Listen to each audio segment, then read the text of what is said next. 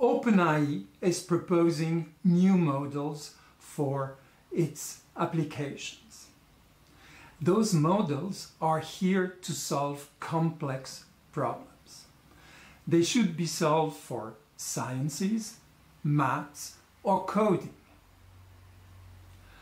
OpenAI says that that kind of models they can be considered as equivalent to a PhD student. It is true that myself, I have some issues and complexity problems that I encountered while doing coding with ChatGPT. So I was really eager to test those new models and to see what they propose. But I can already tell you that it's just fantastic. It's Christian from Vision 6D. I use my expertise and experiences in AI and project management to level up your skills. I train and I consult for companies. The first math problem solving, I asked ChatGPT to prove a trigonometric identity. That is to say, sinus square of x plus cosinus square of x equals 1. For some of you, I see already your hair going up on your head, or some others are saying, hey, what is he showing? And some others are just relaxing and saying, well, that's not complex at all. You are right in all cases. What I will show here is how ChatGPT solved this. And you will see that it's really interesting. The first thing that we notice, it's here up, we see the different stages that the model is going through. It will analyze, decompose the problem. In our case, the resolution needed 8 seconds. Today, what we have here as a model is limited to 30 requests a week. We are in a preview mode. There is a micro version of the model that allows you today up to 50 solicitations a week. But let's go back to solving our issue. I have here just reminded through a graphics the different elements that we understand the reasoning and that we can check it. So I have here the trigonometric circle with the sinus side, the cosinus side, and the angle in the middle. So we talk about the adjacent side and opposite side. In its reasoning, ChatGPT is reminding you some definitions for cosine and sinus. After that, it uses the theorem of Pythagoras to show you how he does the proof that sinus square of x plus cosine square of x equals 1. This is the way in which you can see how it decomposed the different steps to provide you a conclusion that the identity is proved.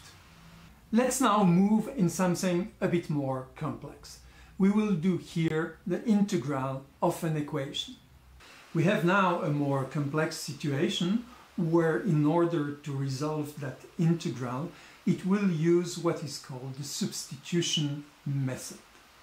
I won't enter into all the steps, but what is important to understand is that it's structured the different steps and it's giving you the steps it goes through and the reasoning. And the result is really correct. But really for the fun, I did something with probabilities. The example is the following. In a class of 30 people, what is the probability that two of them have their birthdays the same day? Like that, we would have a huge party. Let's see how ChatGPT solved this. For those interested, ChatGPT is using the complement rule in probability. I let you discover how he did it. Hey, for those that are interested, here is the reasoning. So, are we going to do that party or not? And you see, ChatGPT, he even proposes an alternative to compute through software. More or less, we have 44% chances that two people will organize that great party for all of us. Yes, that's ChatGPT how I like it. Now let's do some tests about coding. I will ask ChatGPT to create me an application that I can run in my browser, which is a task manager. For this, I will ask it to do it in JavaScript, create an HTML file, and give me some styling in a CSS file. ChatGPT has now generated the code and now I can copy it into my editor which is Visual Studio Code or VSC.